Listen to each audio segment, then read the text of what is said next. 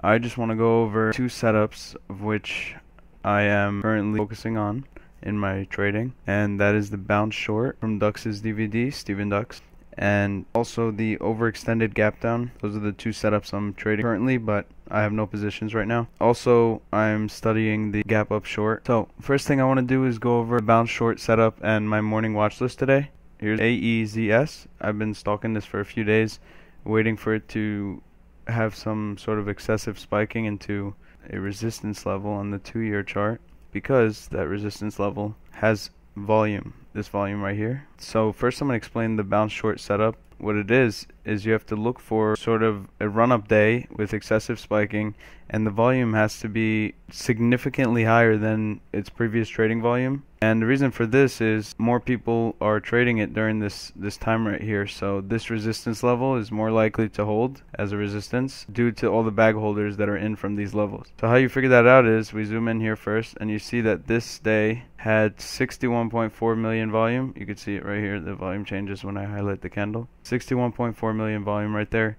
and it topped out at 2.8. You can see the high over here. This day, 48 0.5 million volume and it topped at 329.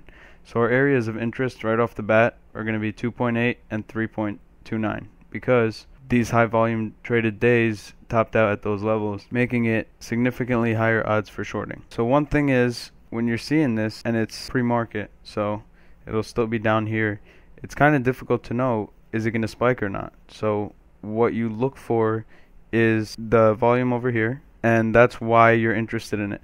So before it even spikes, you already know that your ultimate risk is going to be 325 or 329. That's where that those two days topped out. That's your ultimate risk. Unless today's volume gets overwhelming and it becomes higher than the previously traded volume resistance. So it would have to go over about 100 million volume adding these two days together for it to significantly break those levels. The reason why you don't short on this first green day is because it only spiked from 140 to 209 in the morning, and then it topped in the in the 220 area. This is a significant run up, but it's only about 64%. And how you figure that out is so at this level, let's say you're looking at it at 189 and you want to know how high odds is this entry here if you want to start shorting here. So first thing you're going to do if you're not good at math like me, you're going to take out your calculator and you're going to do 1.88 minus the 1.41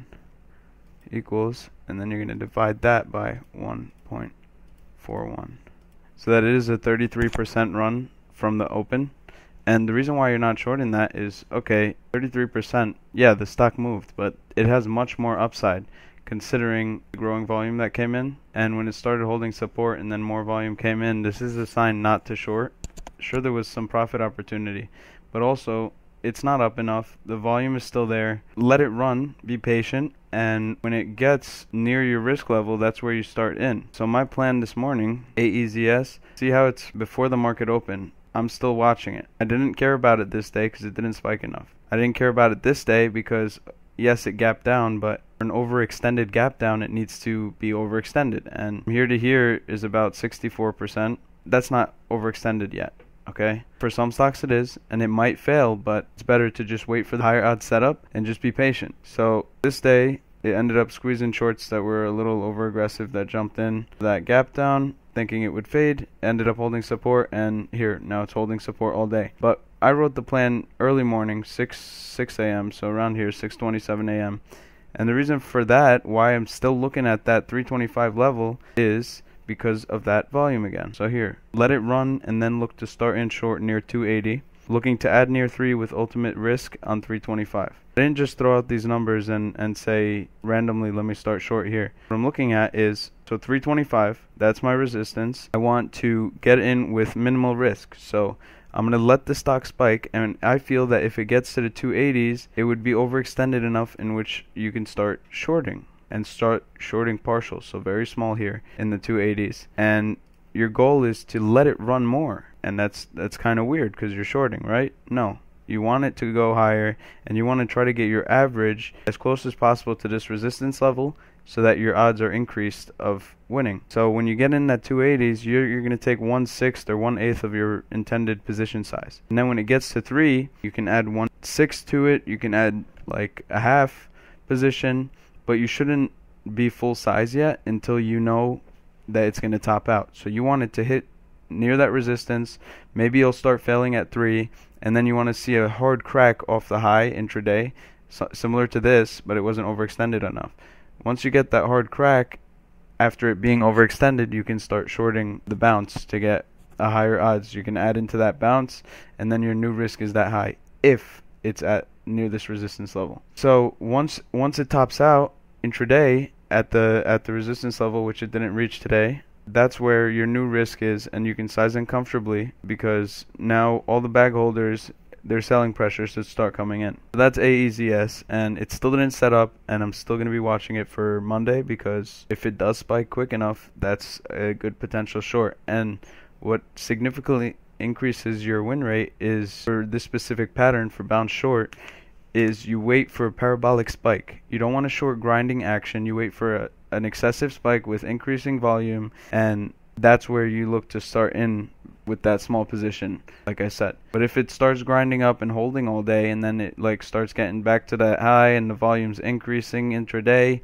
just get out and wait for the next play. If it's not setting up correctly, that's completely fine. SLS, why I was watching that, it's a back burner for overextended gap down. It needs to get overextended first, obviously. So back burner means I'm not looking to trade it anytime soon, but the reason why I was looking at it yesterday, it had this spike. Okay, sure there was some volume, but here's this volume day, 17.6 million volume, and this day was starting to overwhelm it. So that's that's your first indication that you know it's not really time for it to start topping yet.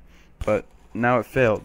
Okay, this is no trade because it failed. What I was looking for is a multi-day run-up. So ideally, you want this this level to break so that it can get overextended, maybe two three days, and hopefully you get that like surge in volume, and you get a day like this.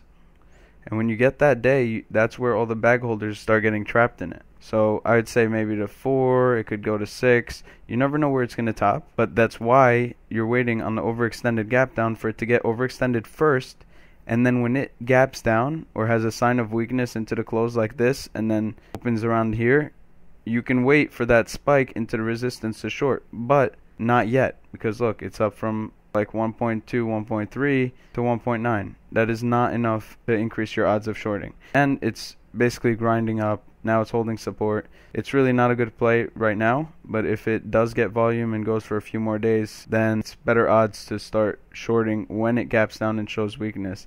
You can short into the most consolidation area of the previous day. I'm just using this as an example. Remember, you don't want to be shorting on the stock that went from 1.2 to 1.9. You look for, let's say it had this weakness and it topped at 4 and dropped like this. Next day, you're going to want to look, okay, did it consolidate here? In this case, there wasn't much volume here. So um, ideally, you'd want volume like this and having a higher resistance level like this.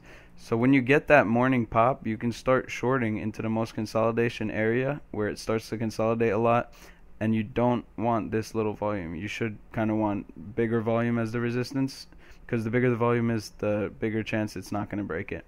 So that's where you take your starter, and your ultimate risk on that starter is high of that consolidation area. So in this 190 area, 193, low 190s, that's your risk, and your plan is to add. But next to your risk, and then when it rejects high and starts showing you that new risk level, that's when you move risk there. But again, didn't run enough, so I didn't trade this either. And with this, you're not really looking at specific daily levels because there's not much volume traded at these levels and they're way up there. So it's not really relevant to the, the current stock price right now. But i mean these bag holders from these two days will be selling into into these pops obviously.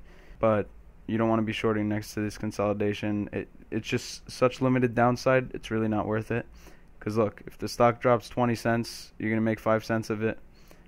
It's not worth it. Here's S O L O. And reason why I was looking at this, so look, this is, as you can see, it shows two years, and this is obviously a few months, like three months. The reason why is because there's no history from before this, so it could be a recent IPO or an uplisting, delisting, whatever. I don't, I don't care. The point is, people were shorting into this level, but they there's no volume here, so that's why it broke it very easily.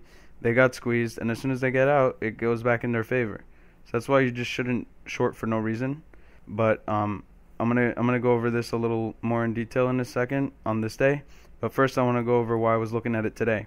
Look at that, 21.8 million volume. Again, you see it right there, and it topped at 748. This day, you're interested in it because of the volume already right off the bat. What I was looking for here is I wanted to start into the 470 to 490 area. The reason for that now this is where it's going to get a little more interesting because you do have that overhead resistance with a ton of volume traded. And to better gauge where the volume was traded, you can use a wider time frame like 5 minute chart. You could see that on this big volume day the volume kind of clustered in this area and it clustered during the morning obviously. What you're looking to do is okay, where's this this is the most consolidation area basically in this area here. You want to start shorting in this area towards the lower end of the range but very small. So I was looking 470 to 490. My goal was to start in shorting right here. And that's because, see this consolidation area and the volume. And then let's zoom in on that day so you can get a better idea of what's going on. So this is a five minute chart. Here, there's some volume traded. Here, there's some volume traded. And they topped in the same area. So what's this range? 460 to 530s and this also could have been part of it because you have all these you have this volume traded here. And if you think of it once it cracked this area here in the 480s that's it. It never reclaimed it. That that was over for the stock. So this is a significant level and you can see that all the bag holders because of the volume there's a lot of bag holders a ton of bag holders stuck in here and they'll be willing to sell into any spike. And the reason why they could have gotten stuck also is buying this high of day breakout, not realizing that the stock is already up over 100% and that is a low odds entry here. So those longs got trapped as you could see some some panicked out here, but the main thing you want to take away from this is okay, the volume's trading in this area, 560s to the 460s. So that dollar a share has been a really big problem area for this stock. So what I'm looking for is to start in the 470s because it's right here because you never know is it going to get to your risk or not. That's why you take that small position. And then if it starts to go up more to the 5 to 5 area, um, as you could see by my plan, I was looking to start in 470 to 490 and my ultimate risk was 565. So you could see why my ultimate risk was 565. This is where that bounce topped at, topped out.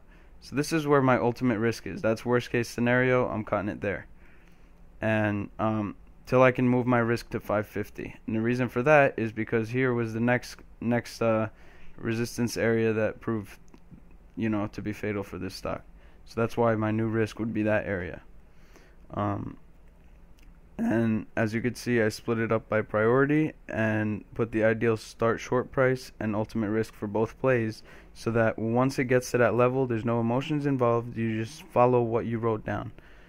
So the reason why I didn't short today is, oh, well, it didn't spike enough. And you don't want to short here because the limited downside. You make like 50 cents a share if you short if you short this morning spike. What are you going to make? 25 cents and 50 cents if you held all day. Like that's not worth it. That's really risky. Um, and the potential for it to spike more is obviously very big as you can see by this spike here.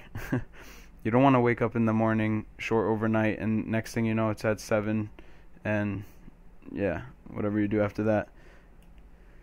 So what i want to go over for this day how this day happened is first thing you want to do in the morning let's go to the two minutes so we can see a little more detail here.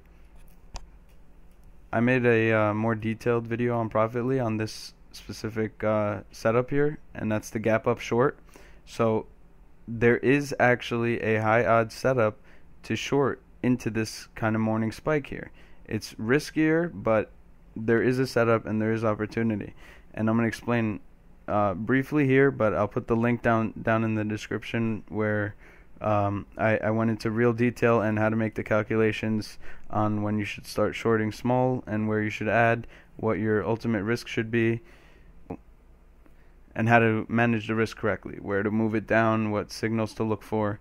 So basically, in the morning, this was about it opened up about 133%, and people took that as, hey, let me short on the open because it has to come down, which is a fatal assumption.